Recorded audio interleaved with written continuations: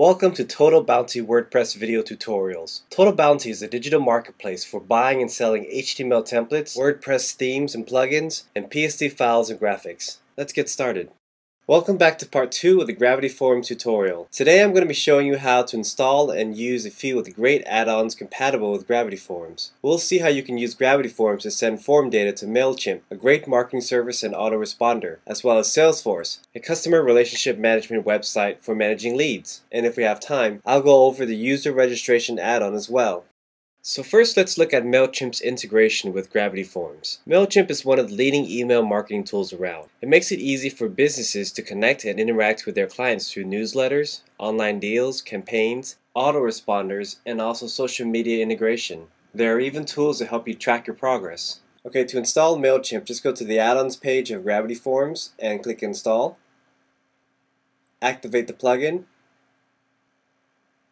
Go over here to the left side panel and click Forms. And you're going to click on MailChimp.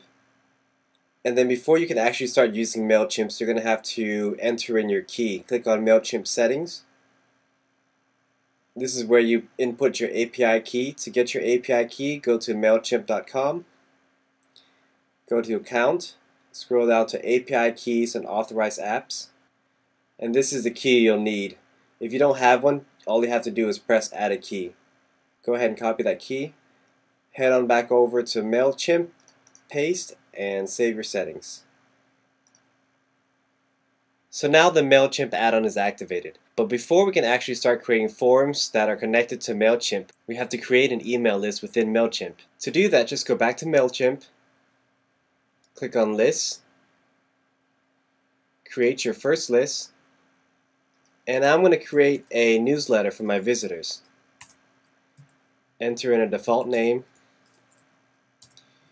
a reply to email address, and a subject line, and remind them how they got in your email list.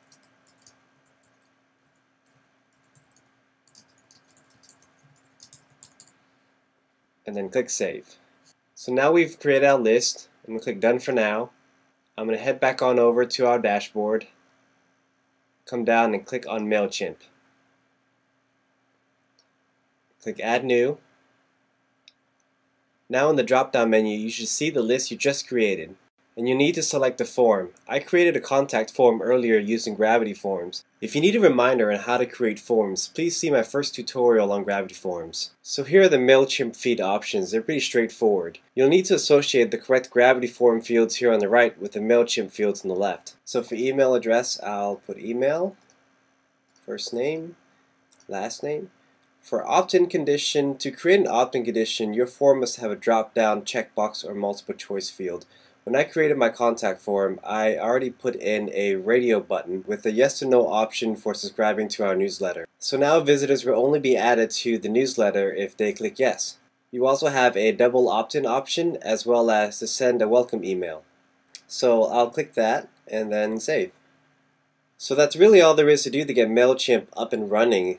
Now when someone fills out my contact form, if they select yes, their data will be sent to MailChimp and I'll be able to go to MailChimp, create campaigns, newsletters, and, and be better connected with my visitors. So now I'm going to show you Salesforce integration. Salesforce is a website that helps you and your team manage, research, pursue potential leads, and set aside less important leads. Say you had a website receiving hundreds of form submissions per day, and you're having trouble filtering through the data, pinpointing potential sales candidates. Salesforce could help you comb through those leads and even delegate leads to different departments of your team. Now, Salesforce is not actually a supported add-on of Gravity Forms. However, we can achieve integration with a simple third-party plugin called Gravity Forms Salesforce Add-on. So go to your plugins page and click Add New.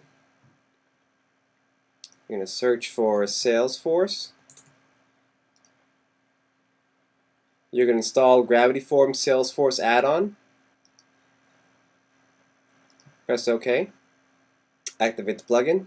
And now there should be a new menu option when you click Forms here in the side panel. Click Salesforce, and then you're going to have to find and enter in your Salesforce OID, Organization ID. To get your OID, log into salesforce.com, click on your name, click on Setup. In the left panel, come down to company profile, Click Company Information, and here is your OID on the right. Go ahead and copy that. Paste it into this box and save your settings. So now the plugin is set up. If you scroll to the bottom, you'll see a list of fields that are ready to go and have their data sent to Salesforce. Now I'm going to show you how to add a custom field if it's not on this list. Go over to Salesforce, click on your name, go to Setup. On the left, click on Customize. Click on Leads and Fields. Scroll down to the bottom and now you can add a new field here under lead custom fields and relationships. I'm going to create a regular text field. I'm just going to make up a label, favorite film. Max length 30 and that's really it. Click next and then save. Scroll back to the bottom and make sure you note this API name right here because you're going to need it. Okay, let's go back to our dashboard. I'm going to use the form I created for MailChimp. Let's edit that form. I'm going to add in a new single line text. We're going to edit that. Let's name this favorite film.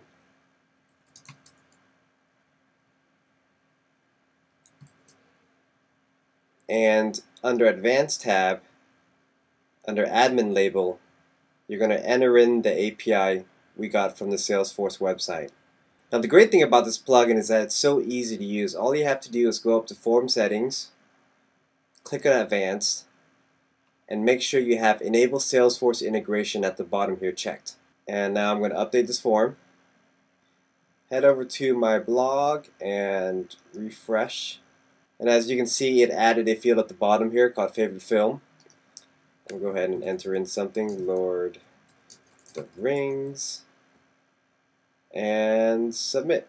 Essentially what we've done is when users submit forms, not only will their data be sent to Salesforce as a new lead, they'll also have the option of signing up for our newsletter and their data being sent to MailChimp. So now if I go back to Salesforce and scroll to the top, click on leads and go to unread leads. Here's my submission. And here's my new lead with the custom field I added. So the last thing I'm going to show you real quick is user registration add-on. With this add-on you can replace the default WordPress registration form and you can also integrate registration with your other forms. You install like any other regular plugin, go back to Gravity Forms, click on user registration, add new, select a form. I'm going to use the same contact form. And now all you have to do is make sure you have the required fields in your form. So I would have to go back to my form and add a username field as well as a password field. Now when visitors use my contact form, they'll be signed up for my newsletter, their information will be sent to Salesforce, and they'll have the option of registering for my blog. Alright, that's it. Thanks for watching. Visit the TotalBounty.com blog for more WordPress tips and tricks.